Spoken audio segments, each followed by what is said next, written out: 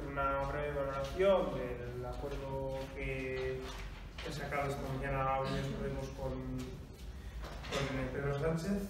Eh, bueno, la verdad es que estamos ante un acuerdo verdaderamente progresista, que una vez analizado entendemos eh, que es bueno para Euskadi, porque además es bueno para una mayoría de vascos y de, y de vascas. Eh, una vez más, estando Unidos Podemos en, en, este acuerdo, es un acuerdo que pone en el centro lo social y que pone en el centro el bienestar de la gente. Además, es un acuerdo que demuestra que cuando hay voluntad política, se puede. Se puede porque las propuestas que se hacen desde Unidos Podemos y que hacemos desde el Carrequín Podemos son perfectamente viables y perfectamente realizables. Es un acuerdo que demuestra, por un lado, que en Unidos Podemos y el Carrequín Podemos no nos da ningún vértigo ni miedo pactar. Eso sí, solo pactamos cuando es bueno para la ciudadanía. Solo pactamos si eso implica que los gobiernos giren a lo social. Hoy Unidos Podemos hemos conseguido que se reviertan muchos de los recortes de Mariano Rajoy. Hoy hemos conseguido desmontar muchas políticas austericidas del Partido Popular en los últimos siete años. Y eso es lo mismo que queremos hacer en Euskadi. Queremos unos presupuestos vascos que desmonten las rebajas fiscales en la patronal. Queremos unos presupuestos vascos que retiren los convenios a colegios de lobos. Queremos unos presupuestos vascos que impidan una reforma de la RGI a la medida del PP. Pero sobre todo queremos unos presupuestos vascos que aseguren el empleo, el empleo con derechos, que hagan frente en Euskadi a la escalada de los precios de alquiler, que miren a la juventud ofreciendo alternativas, que sean un salto cualitativo en igualdad contra las violencias machistas y queremos que los presupuestos vascos incluyan el rescate de la naval. Hoy el acuerdo de Unidos Podemos con Sánchez supone la mayor subida de la historia del salario mínimo. Y eso es bueno para miles de vascos y vascas. Hoy el acuerdo de Unidos Podemos recupera, recupera un subsidio de desempleo para los parados de más de 52 años. Hoy el acuerdo pone freno a la subida de los precios de la luz. El acuerdo supone mejoras para las personas autónomas. La pregunta que nos hacemos aquí desde el Carrequín Podemos es clara. ¿El PSE en Euskadi está por la labor de promover un pacto de este tipo? ¿El PNV preferirá seguir mirando al PP para los presupuestos o por el contrario a la izquierda vasca? Como dijimos, la pelota desde el primer día está en el tejado del gobierno vasco.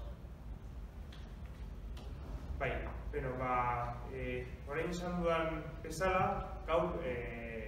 estatuan akordio, e, benetazko akordio aurrerako ja lortu egin da. Eta akordio hau ona da e, Euskadi ona delako e, Euskal Herritarrentzat. Eta zergatik, bueno, ba, soziala erdian jartzen duelako, ongizatea erdian jartzen duelako. Gainera, akordio honek demostratzen duela da, nahi denean borontate politikoa dagoenean ahal direla horrelako akordioak atera.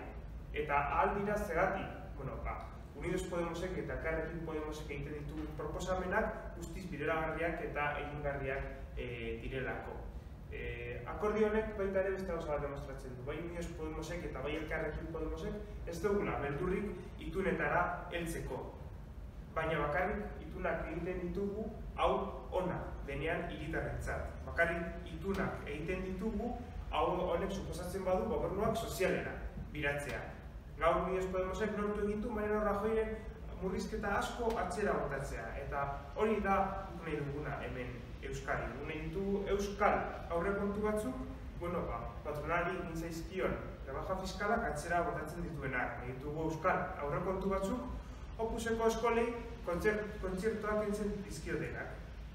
Aurrekontu euskalduna, euskaldun batzuk nahi ditugu nun, bueno, ba, energiaren erreforma ez den geratzen alderdi popularraren eskuetan. Baina gehien bat, nahi ditugu aurrekontu, euskal aurrekontu batzuk, bueno, ba, enplegua bermatzen dutenak. Eskubideak dituen enplegu bat. Euskadin dauden alokairuaren arazoei aurre egiten dion aurrekontu batzuk gaztei eh, bueno, erantzunak ematen dizkion aurrekontu batzuk. Berdintasunan eh, jauzi kualitatibo bat egiten dituzten aurrekontu batzuk. Guk nahi ditugu ere Euskal aurrekontu batzuk nun nabalaren erreskatea agertzen da. Gaur, Estatuan Unidos Podemosek Sánchezek, eh, Sánchezekin egin duen eh, akordioa suposatzen du soldata minimoaren igoerarik handiena historioan. Eta hori da Euskal e, milaka hiritarrentzat ona den zerbait. Gaur akordio honek suposatzen du berrogeita babi e, urtetik gorako e, langabetuen e, subsidioa berriro ezartzea. Honek suposatzen du argiaren presioa e, ez dela argiago igoko. Honek suposatzen du autonomoentzat hobekuntzak. Galdera hau argia da. Euskadiko alderdi sozialista Euskadi nahiko du horrelako akordio bat aurrera eraman. Euskal alderdi jeltzaleak nahiago du eskuinera begiratzea alderdi popularrera edo kontran Euskal Ezkerrera begiratzea eta gurekin negozatzen saiatzea. Hasieran eh, esan genuen eta berriro esaten dugu pilota beraien teiatuan dago. Alderarik?